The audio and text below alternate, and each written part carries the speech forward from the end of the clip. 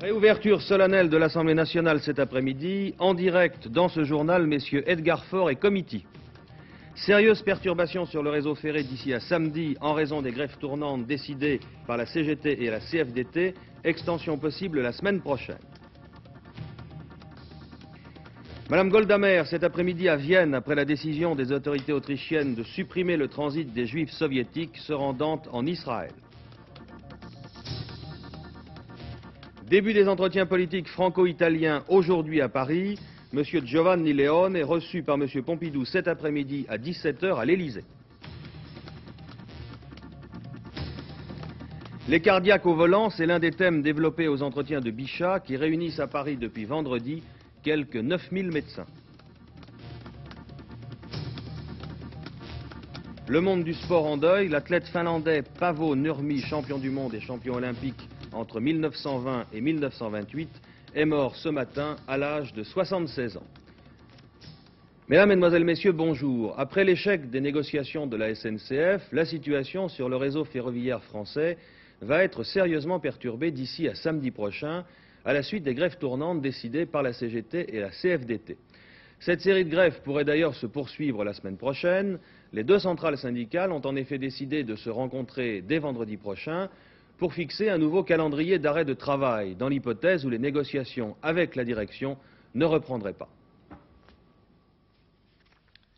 Après le trafic banlieue, les grandes lignes, à leur tour touchées par des grèves tournantes, réseau après réseau. Aujourd'hui et jusqu'à jeudi, l'ouest. Dès ce soir, après 20 heures, le sud-est. Demain, l'est et le nord. Enfin, jeudi, la région du sud-ouest. Ce n'est qu'en fin de semaine que pourraient s'achever ces opérations de harcèlement, si toutefois la réunion des fédérations CGT et CFDT, prévue pour vendredi, ne décide pas une relance de l'action. Pour les cheminots de revendication, rappelons-le, à la base de ce mouvement, les conditions de travail et les effectifs, l'augmentation des salaires. Faute de pouvoir disposer d'un tableau précis, définitif de la situation, les usagers s'exposent donc cette semaine à des déconvenus, à des surprises, risquant de ce fait d'être plus désemparés peut-être que dans le cas d'une grève classique.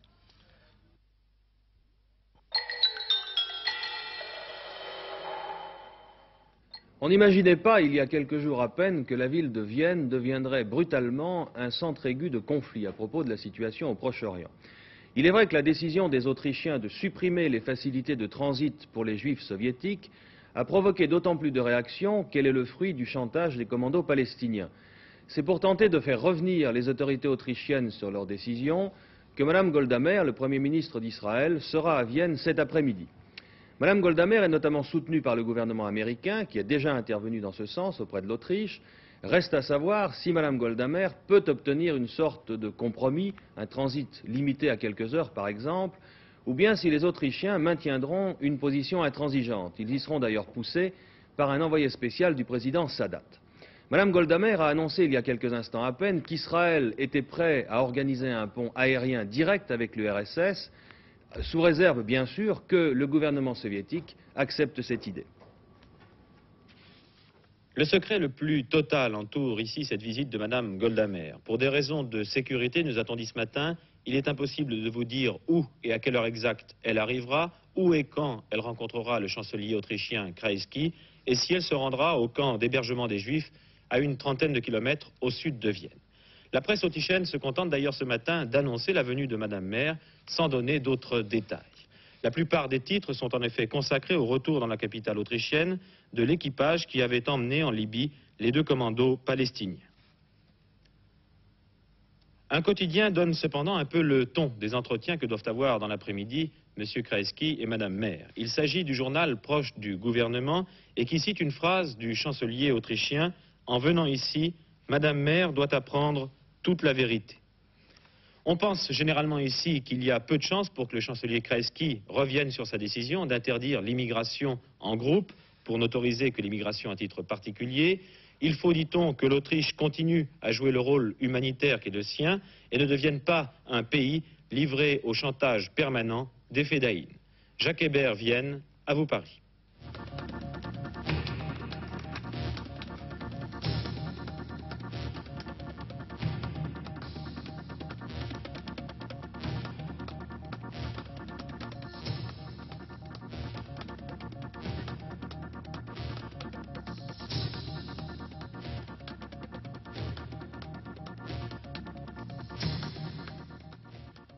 Anwar el-Sadat d'Égypte n'est pas rassuré. Il craint que la visite de Goldamer ne fasse changer d'avis le chancelier Kreski. C'est pourquoi il envoie en Autriche un émissaire, officiellement pour remercier le premier Autrichien, en fait pour le convaincre de ne pas revenir en arrière.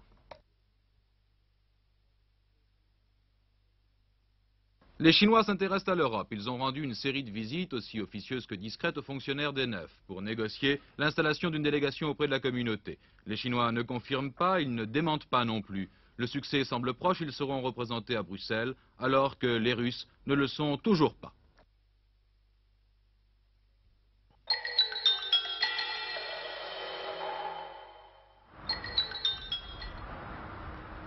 Le président de la République italienne s'est rendu en fin de matinée à l'Arc de Triomphe pour la traditionnelle cérémonie au tombeau du soldat inconnu.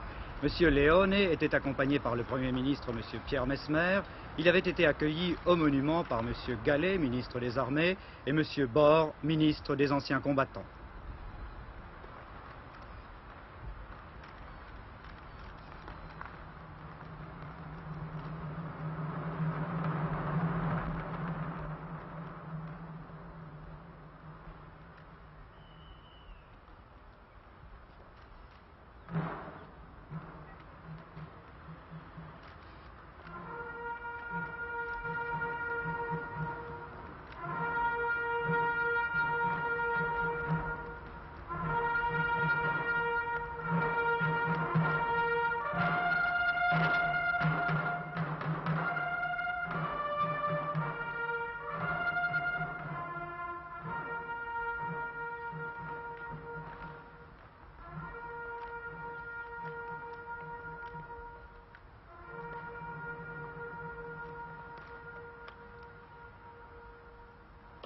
Monsieur Giovanni Leone devait être reçu ensuite par le conseil municipal de Paris à l'hôtel de ville avant de déjeuner en compagnie de Monsieur Pierre Mesmer au palais des affaires étrangères. Ces visites d'État, réglées de façon très précise par le protocole, se composent à la fois de manifestations très solennelles et d'entretiens politiques au plus haut niveau. Les deux aspects, l'apparat et la politique, sont à l'occasion mêlés. C'était le cas à Versailles hier soir, où l'on a remarqué le caractère exceptionnellement brillant de la réception offerte à Monsieur et Madame Léoné, où l'on a pu noter aussi l'importance des toasts prononcés. Détente Est-Ouest, Europe, relations avec les États-Unis, Méditerranée en ont été les thèmes principaux. Cet après-midi, nouvel entretien en tête-à-tête entre messieurs Pompidou et Léonet qui parleront des rapports franco-italiens essentiellement et notamment du plus court chemin menant de Paris à Rome à travers les Alpes. Il est question de renforcer en effet les voies de communication entre la France et l'Italie.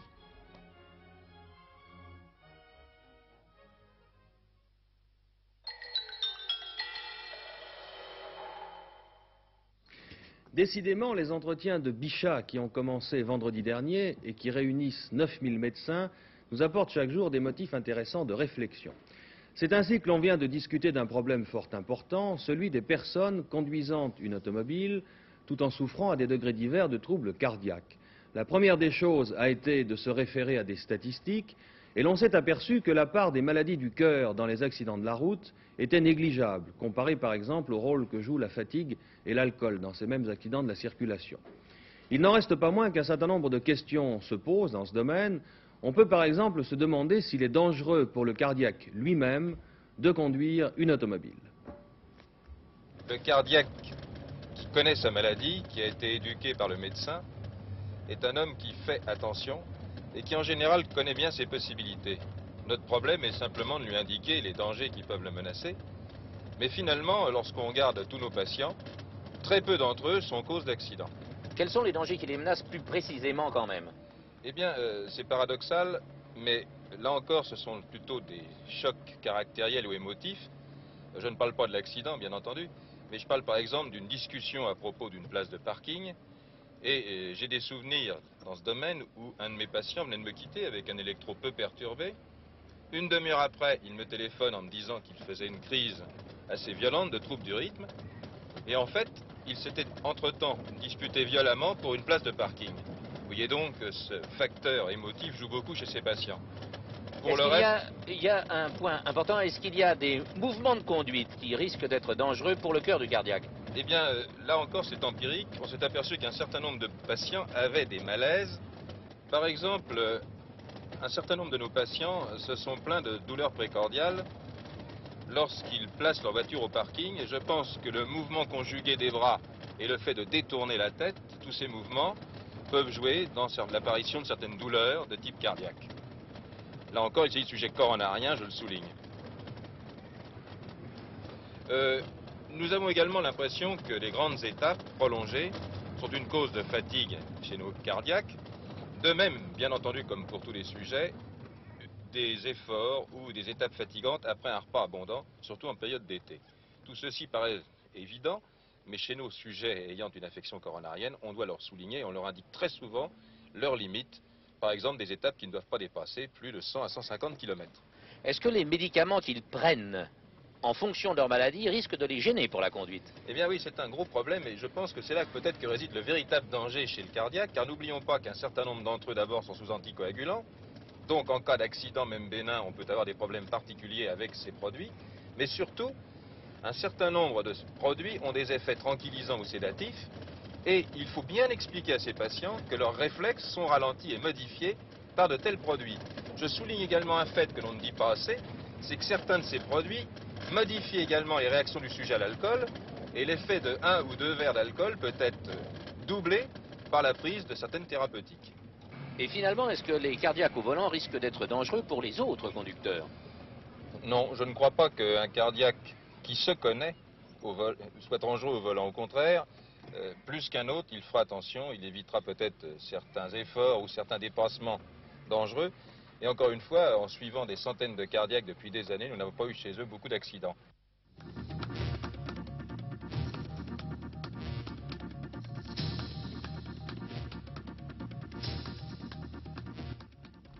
Le dernier greffé du cœur, M. André Lefrançois, est décédé la nuit dernière à l'hôpital Foch. Un communiqué publié par l'hôpital attribue la mort à une insuffisance cardiaque post-opératoire sans aucun rapport avec un phénomène de rejet. Très peu de détails avaient été donnés sur l'opération pratiquée vendredi par l'équipe du professeur Guilmet. Âgé de 40 ans, M. Lefrançois était hospitalisé à Caen depuis le mois de juillet dernier. C'était le sixième opéré du professeur Guilmet et le 16e transplanté cardiaque français.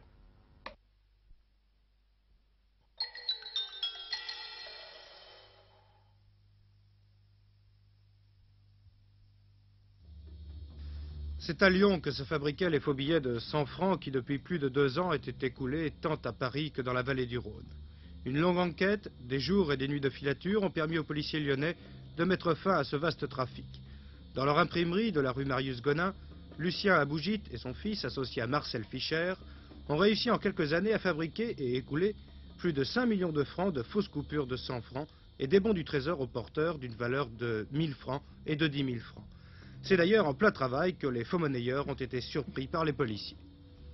Sur le, plan justement du dessin, de la finition de ces billets, est-ce que, là on en voit de très nombreux à côté de vous, est-ce qu'ils peuvent passer pour de, vraiment de vrais billets? Et les bons du trésor également, est-ce que c'était une très belle émission? Pour des personnes averties, non. Mais pour euh, des gens qui ne font pas attention, dans une liasse, ça peut tromper. Parce que, évidemment, les personnes averties s'aperçoivent que le papier n'a pas le craquant du papier normal, et surtout que les filigranes ne sont faits par impression et qu'ils ressortent, voyez-vous, par, reflet. En ce qui concerne le bon du trésor, c'est tout, à fait différent. Il est beaucoup plus facile de les imiter que des billets français qui sont pratiquement inévitables. Seulement, le papier également n'est pas tout à fait tout à fait aussi épais que celui des, bons du trésor authentiques.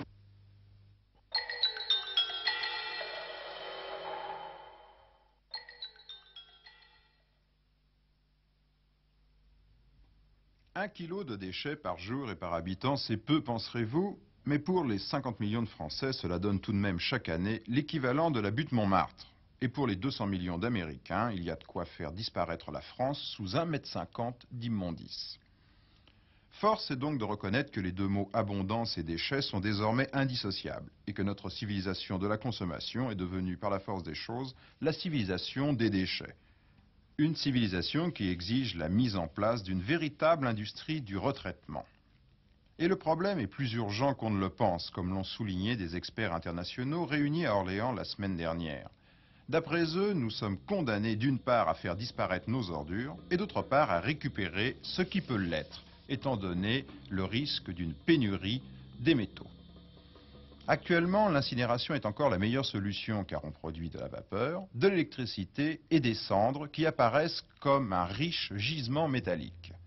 Oui, un gisement car les teneurs des cendres à la sortie des chaudières, les teneurs en fer, en cuivre, en argent sont 10 à 100 fois plus importantes que celles des mines.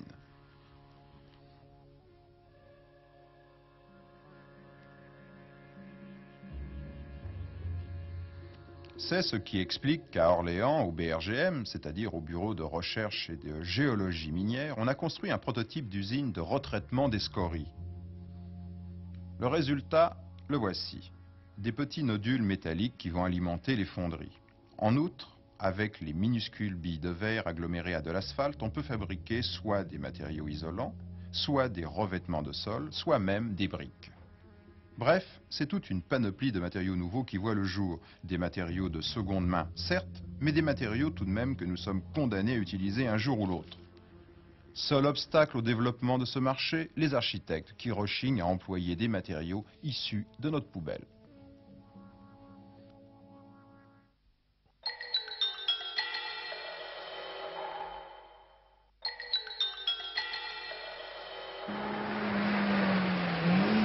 Cette voiture, vous ne la verrez pas au salon de l'auto. En effet, elle ne sera ni présentée ni mise dans le commerce avant la fin de l'année prochaine. Regardez écoutez, vous êtes les premiers à entendre ce bruit, c'est celui du prototype de la Matra U8.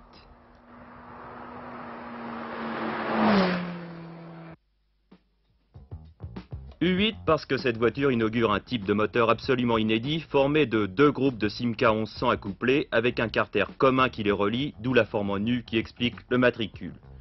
Mais pourquoi avoir choisi cette formule originale mais délicate sur le plan technique?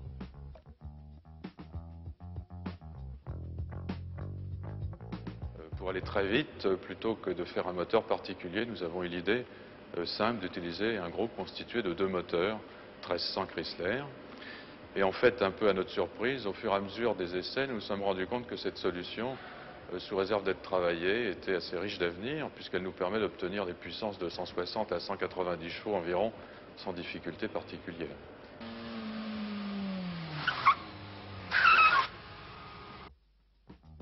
Voici maintenant la Matra U8 telle qu'elle sera proposée aux acheteurs. Et sa carte de visite est impressionnante. 195 chevaux, 5 vitesses, 230 km h Un tableau de bord entièrement nouveau.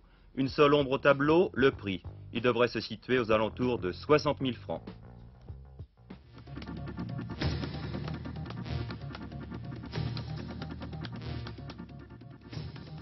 Le Finlandais Pavo Nurmi est mort à l'âge de 76 ans, surnommé Monsieur Chronomètre. Il a été le plus prodigieux coureur à pied de l'entre-deux-guerres. Son règne s'est étendu sur trois Olympiades. Nurmi a remporté huit titres olympiques et a détenu 28 records du monde sur des distances allant du 1500 au 10 000 mètres. Au championnat d'Europe de basketball à Barcelone, la France a bien résisté à l'Espagne avant de s'incliner dans les dernières minutes 85 à 80. C'est la quatrième défaite de l'équipe de France qui affrontera ce soir la Yougoslavie, championne du monde. Le match sera retransmis sur cette première chaîne à partir de 22h30.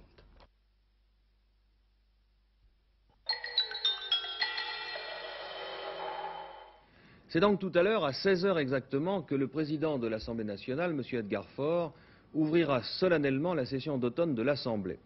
Dans quelques instants, nous retrouverons d'ailleurs en direct aux côtés de Joseph Poli, M. Edgar Faure, le président de l'Assemblée, et M. Comiti, le ministre chargé des relations avec le Parlement, qui est aussi le porte-parole du gouvernement. La réouverture de l'Assemblée nationale sera marquée par une brève allocution prononcée par le Premier ministre, M. Pierre Mesmer, après quoi les députés se mettront immédiatement au travail. À l'ordre du jour cet après-midi, le projet de loi d'orientation du commerce et de l'artisanat. Il est déjà prévu que la discussion se poursuivra dans la soirée. Elle sera d'autant plus importante, cette discussion, que le ministre, M. Royer, qui présente le projet de loi, a d'ores et déjà annoncé qu'il était décidé à démissionner si son projet était trop modifié par les députés. C'est une Assemblée nationale nouveau style, du moins pour ce qui concerne l'organisation du travail, que vont retrouver les 490 députés. Chaque semaine de travail sera en effet maintenant pour eux, en quelque sorte, spécialisée. Ainsi, cette première semaine essentiellement consacrée aux commerçants et aux artisans.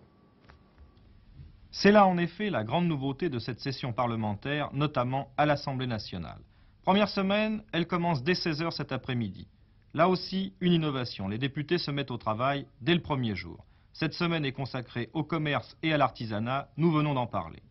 Deuxième semaine, une semaine sociale, consacrée à deux projets de loi, un sur l'amélioration des conditions de travail, un autre sur l'intéressement et l'actionnariat.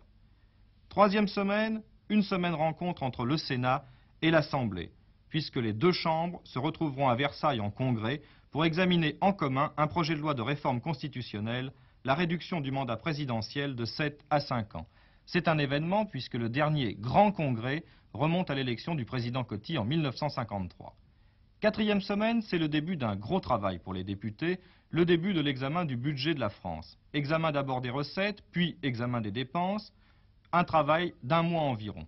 Le budget, une fois terminé à l'Assemblée, c'est le Sénat qui en commencera l'examen. Au mois de décembre, il y aura également une semaine consacrée à l'agriculture et surtout l'examen du projet de loi sur l'avortement ou plus exactement sur l'interruption de la grossesse. Une session donc fort importante pour le Parlement et qui, comme le prévoit la Constitution, durera 80 jours. Eh bien, je me demande si la véritable rentrée parlementaire n'a pas eu lieu mercredi dernier. Nous sommes, en effet, en direct à l'hôtel de Lassay, la résidence du président de l'Assemblée nationale, avec le président, M. Garfort, et avec M. Comiti, le ministre chargé des relations avec le Parlement. Et mercredi dernier, dans un salon voisin de celui dans lequel nous nous trouvons, des députés importants, des présidents de commission, des présidents de groupe, le rapporteur général du budget, se sont réunis pour établir l'ordre du jour de l'Assemblée dont on vient de vous parler, ce que les journalistes parlementaires appellent dans leur jargon le menu. Cet ordre du jour, je vous le dis tout de suite, risque d'ailleurs d'être modifié, car l'on a appris ce matin que les députés communistes et socialistes avaient l'intention de déposer une motion de censure jeudi et que cette motion de censure serait discutée vraisemblablement la semaine prochaine. Comment fonctionne cette conférence des présidents. J'ajoute que cette conférence des présidents se réunit toutes les semaines. Elle s'est d'ailleurs réunie il y a quelques instants pour confirmer l'ordre du jour. Quelques instants toujours dans la salle voisine. Vous voyez d'ailleurs quelques images de cette réunion qui a eu lieu, je vous dis, quelques minutes. Voici le président Edgar Faure qui la préside, bien entendu. Voici M. Couve de Verville, président de la Commission des Affaires étrangères, avec à côté de lui M. Ablin, réformateur. On aperçoit M. Comiti, qui représente le gouvernement. M. Antonios, républicain indépendant, et M. Ballanger, le président du groupe communiste. Voici la conférence des présidents qui siège à huis clos, bien entendu. C'est une réunion de travail. Eh bien, comment travaille cette conférence des présidents? Le gouvernement présente un certain nombre de projets dont il désire l'adoption et euh, la conférence des présidents fixe un calendrier. Mais alors, je me tourne maintenant vers le président de l'Assemblée nationale. Cette conférence des présidents a le pouvoir d'inscrire à l'ordre du jour des propositions, là on ne les appelle plus des projets, d'origine parlementaire, que ces propositions viennent de députés de la majorité ou même de députés de l'opposition. Alors pourquoi ne le fait-elle pas plus souvent? Les députés s'en plaignent, Monsieur le Président. Oui, mais il faut dire qu'il y a une règle, c'est l'ordre du jour prioritaire. Le gouvernement a la priorité pour faire inscrire à l'ordre du jour les projets qu'il propose. Et nous ne pouvons utiliser que les créneaux disponibles pour faire passer d'autres textes. Il faut reconnaître, franchement, que le gouvernement traite en général les sujets les plus considérables, il dépose des projets de loi très importants. Des propositions parlementaires peuvent l'être aussi, mais elles peuvent aussi porter sur des sujets secondaires. Il arrive enfin que quand des parlementaires ont signalé au gouvernement une question importante, celui-ci la prend à son compte. Et parlementaires de la majorité De la majorité ou de l'opposition. Parce que le gouvernement, j'ai fait partie des gouvernements avec M. le comité, le gouvernement ne peut pas se désintéresser des problèmes importants. Donc très souvent, si je puis dire, il nous coupe l'herbe sous le pied. Mais ça n'a pas d'importance, puisque le but de la proposition est d'attirer l'attention. Néanmoins, il nous reste la possibilité, dans les créneaux de l'ordre du jour, de fixer, de mettre à l'ordre du jour des propositions d'origine parlementaire. Et d'ailleurs, nous l'avons fait. À la fin de la dernière session, et n'oublions pas que cette Assemblée n'a connu qu'une seule session, raccourcie d'ailleurs par le fait qu'il y avait les vacances de Pâques. Donc, dans une session de deux mois et demi, nous avons fait passer par inscription à l'ordre du jour, que le gouvernement euh, finalement a accepté, mais que nous avions le droit de faire, une proposition importante sur la retraite des prisonniers.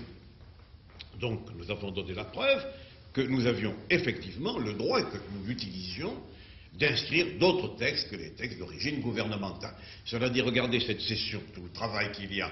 Le gouvernement nous apporte un projet, il avait les moyens que nous n'avons pas de le faire.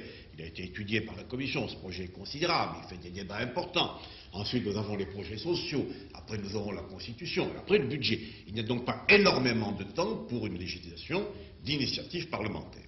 Euh, Monsieur le ministre, vous pouvez, dans l'ordre du jour prioritaire, glisser des propositions Oui, bien entendu, et cela se fera d'ailleurs de façon systématique, puisque dans l'ordre du jour prioritaire, à la demande de Monsieur le Premier ministre, euh, je propose à la conférence des présidents, je dirais, des, des mesures qui sont des mesures groupées. Et dans ces mesures groupées, rien n'empêche d'inclure des propositions de loi dans la mesure où ces propositions de loi complètent l'ensemble que nous proposons. Il y en aura d'ailleurs à propos des mesures agricoles, euh, et je ne vois aucun inconvénient à ce que le maximum de propositions de loi soient mises dans ces mesures. Alors, à propos de l'organisation du travail de l'Assemblée, vous avez beaucoup parlé, avant l'ouverture de cette session, de l'organisation du travail par semaine. Et vous avez présenté ça un peu comme une petite révolution. Est-ce que c'est si important que vous voulez bien le dire? Est-ce que ça ne va pas favoriser l'absentéisme? Certains députés disant Bon, ben, cette semaine, je suis un peu moins qualifié pour parler de ces problèmes, je vais laisser certains de mes collègues venir à l'Assemblée. En ce qui concerne l'absentéisme, je fais confiance Oui, au oui. président Edgar Faure qui a fait ce qu'il fallait à la dernière session pour que l'absentéisme disparaisse et c'est une excellente chose pour le renom de l'Assemblée nationale. Mais je ne pense pas que ces semaines favorisent l'absentéisme. Au contraire, les députés pourront mieux préparer leur intervention puisqu'ils n'auront pas à intervenir tout le temps, ils interviendront une fois sur un sujet. Par ailleurs, il y aura un grand retentissement, je l'espère, dans l'opinion publique de ces semaines. Tout le monde parlera de ces mesures qui sont décidées, qui sont discutées à l'Assemblée nationale, et je pense qu'au contraire, ça va relever, demande au président Edgar Faure, l'intérêt des débats et favoriser la présence des députés en séance. Nous reparlerons de l'absentéisme tout à l'heure, Monsieur le Président, si vous le permettez, en parlant de la vie du parlementaire. Mais nous avons tout à l'heure, dans notre programme, nous avons parlé de la grande réunion de Versailles, de la réunion du Congrès, à propos de l'important projet de réforme constitutionnelle. Alors, c'est le président de l'Assemblée nationale qui prépare ce Congrès de Versailles. Cela doit lui poser beaucoup de problèmes. C'est le bureau de l'Assemblée nationale qui est le bureau du Congrès, d'après la Constitution. Et nous examinons en effet ces questions.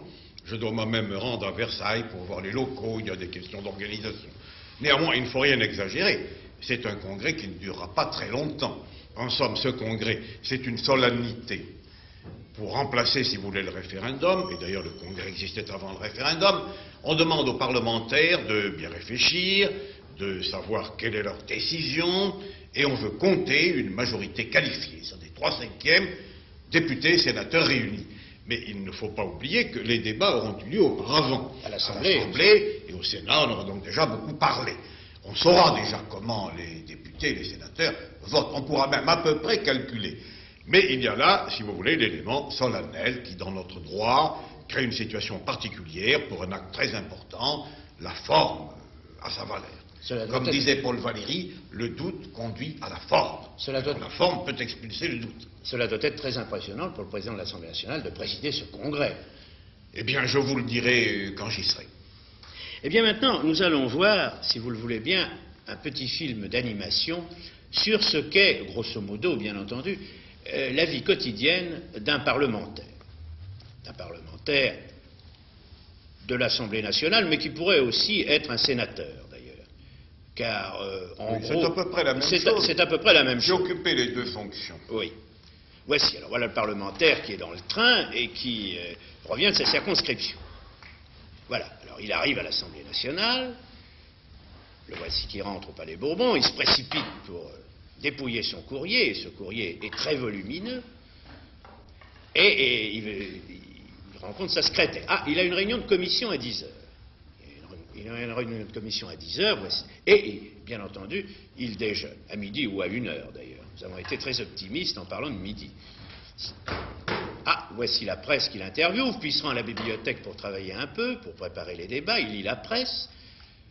C'est très éclectique, n'est-ce pas?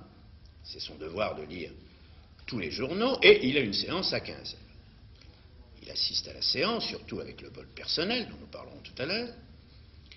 Et ensuite, bien sûr, il dîne, il dîne, et euh, après le dîner, il va à des réunions politiques, et même souvent, il assiste, nous ne l'avons pas indiqué dans cette animation, il assiste à des réunions de commission, car les commissions se réunissent très souvent après le dîner. Eh bien, les commissions, les groupes, les sous-groupes, etc. Euh, ce n'est pas, ce n'est pas, Monsieur le Président, une caricature. Oui, non, Pas une caricature. Et l'on peut dire que le métier de député ou de sénateur n'est pas une sinécure. Mais évidemment, il faut parler de l'absentéisme, car le téléspectateur, pour le téléspectateur, le député, l'Assemblée nationale, c'est l'hémicycle. Et il lui arrive de constater qu'à l'occasion de grands débats, il n'y a pas grand monde. Alors, parlons de cet absentéisme. Il faut voir les choses comme elles sont également. Les députés ont beaucoup de corvées, comme on dit, beaucoup d'occupations. Ils sont souvent maires et conseillers généraux, ce qui, à mon avis, n'est pas un mal, car ils sont ainsi très près de la population, ils peuvent mieux suivre les problèmes. Il arrive qu'ils ne soient pas à Paris certains jours de séance, c'est évident.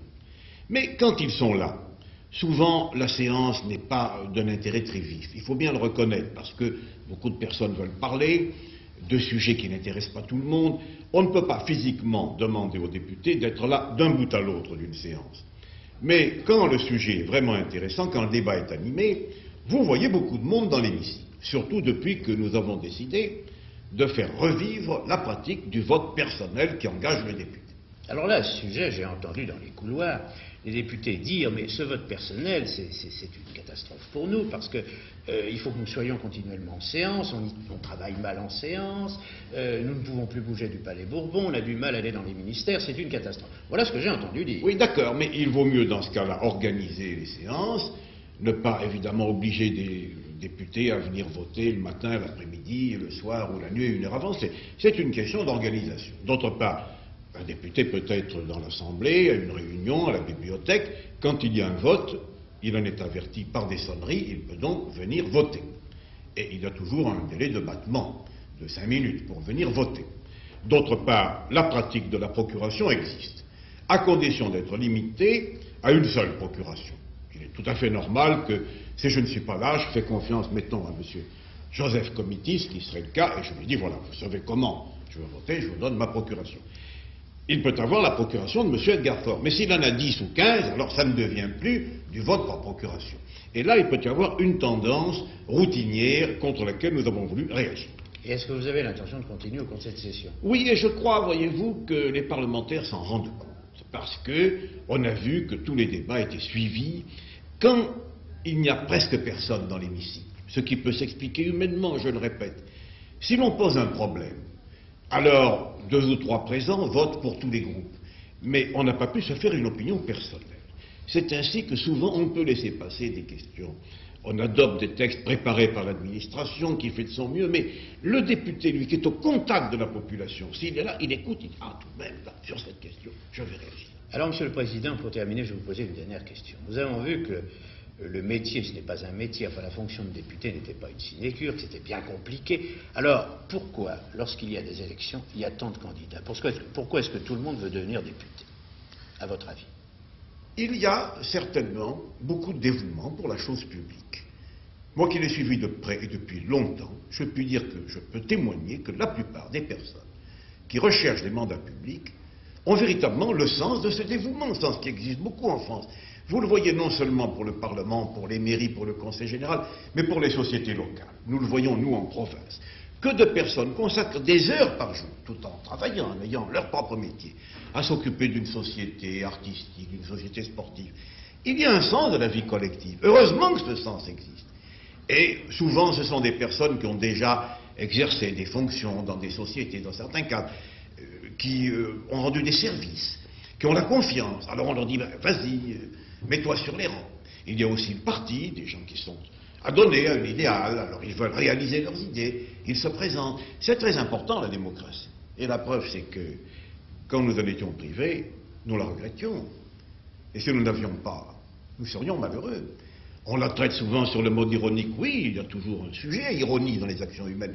Mais je vous assure, pour se dévouer à la chose publique, il faut y croire. Beaucoup d'entre nous exercent cette profession et pourraient en exercer d'autres. Ils auraient des capacités pour réussir dans d'autres domaines. Et je vous assure, quand on choisit ce métier-là, j'accepte le mot de métier, qui n'est pas du tout péjoratif.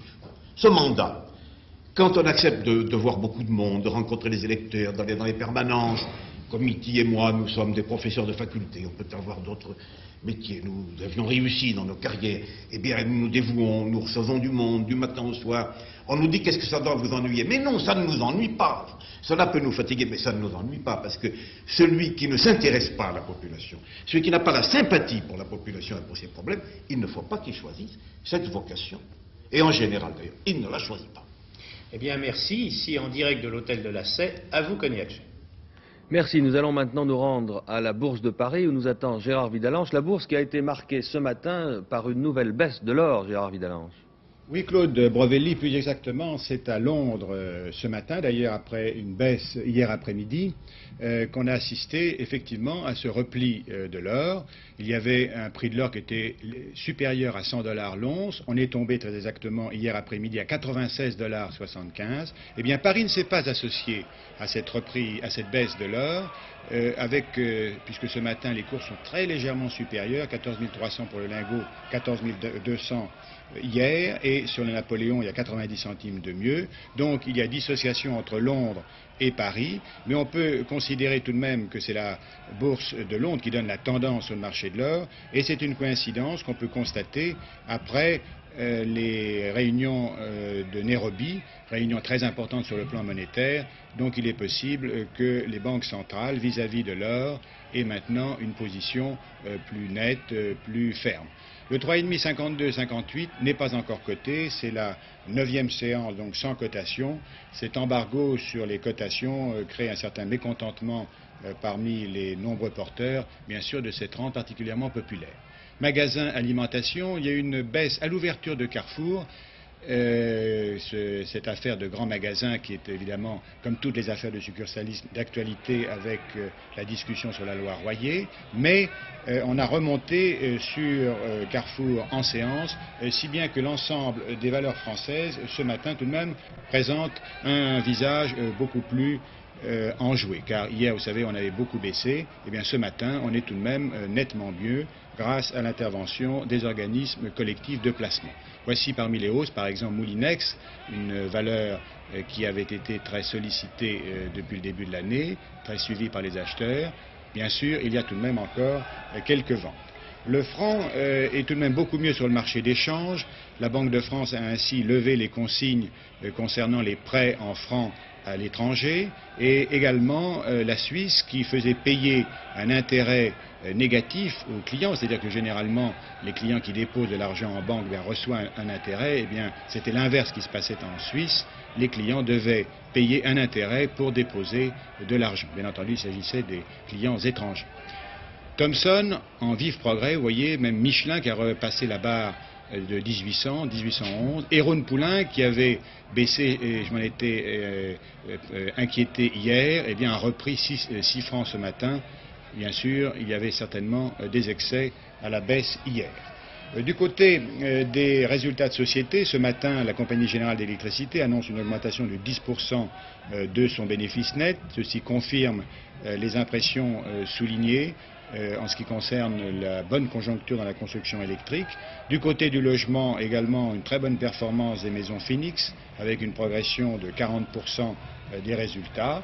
Et dans le secteur de la construction navale, tout de même une nouvelle importante, euh, notre chantier de Saint-Nazaire va recevoir une commande d'un pétrolier de 550 000 tonnes. C'est, je crois, un, record pour la construction navale française. Voilà Claude Brevelli pour la Bourse de Paris. Merci. Je vous dirais avant de vous quitter que Mme Goldamer a quitté Strasbourg il y a un peu moins d'une demi-heure. Il était 13h15 exactement, Strasbourg pour Vienne donc.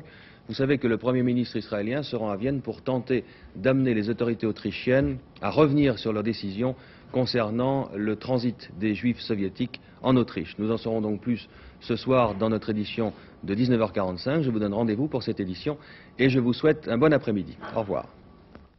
Thank you.